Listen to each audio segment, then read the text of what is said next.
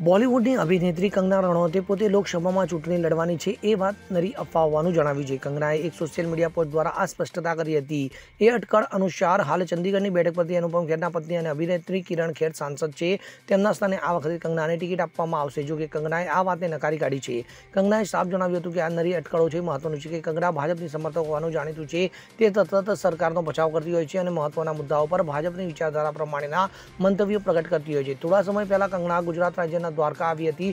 ત્યારે તેને ભગવાન શ્રી કૃષ્ણના આશીર્વાદ મળી અને પોતે રાજકારણમાં ઝંપલાવશે હોવાનું તેમ જણાવ્યું હતું. Bureau report CN twenty four news. હવે જુઓ, દેશ દુનિયાની તમામ ખબરો તમારી આંગળીના ટેરવે. ઉઠાવો મોબાઈલ અને ગૂગલ પ્લે સ્ટોર પરથી ડાઉનલોડ કરો અમારી CN twenty four news mobile app.